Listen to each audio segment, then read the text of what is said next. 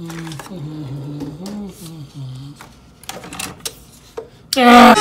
best part of waking up is Folgers in your cup. The best part of waking up is Folgers in your cup. I can't stand when people leave their K cups in the machine. I don't know if that's just me. If you have a problem with it too, leave it in the comments down below. But um, anyway, let's get into story time. Speaking of coffee machines, this reminds me of back when I was at my first job about 20 years ago. I worked as a machinist, and there was a little break room where everybody kept all of their stuff microwave, coffee maker, whatever you wanted to use to fix your food or fix your lunch or whatever. It was kept in a little break room. Nobody messed with anybody else's stuff. But this particular day, I was working on night shift at the time. Somebody thought it was funny, or somebody thought it would be funny on the day shift to take my little George Foreman grill that I used to cook every day with.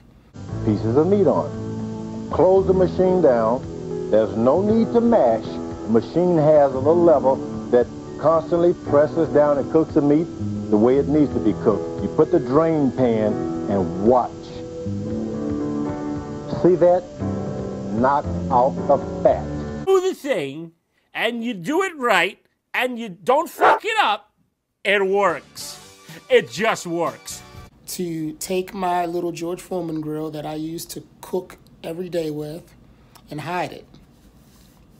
And of course, I didn't initially believe that it was hidden. I thought it was stolen at first, which made me flip out because I can't stand thieves. I can't stand having things stolen. It's just, it's a real, real hot spot for me. So, I get in at night shift.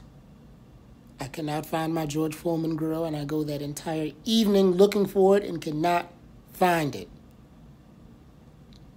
Towards the end, I realized that it was some type of um, prank that was being pulled on me, and so I figured, okay, I've got something for day shift. They wanna, they wanna prank me all of a sudden. I, I'll fire back. Yeah, that next morning, they couldn't find their coffee machine. Yeah, it wasn't funny then because I remember being at home and uh, I get a phone call, maybe like 9, 10 o'clock in the morning.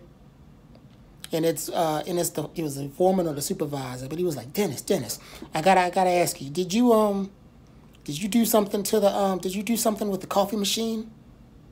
And I'm like, what, what are you talking about? What what coffee machine? It's like, come on, Dennis. The guys here, they're they're losing it, man. They're, they're ready to hang you, man, cause uh this coffee machine, you you know you don't you don't mess with a person's coffee. It's like, yeah, you don't mess with my grill either. I said that over the phone. I told them where the coffee machine is. I told them where it was. But they knew better than to mess with me again.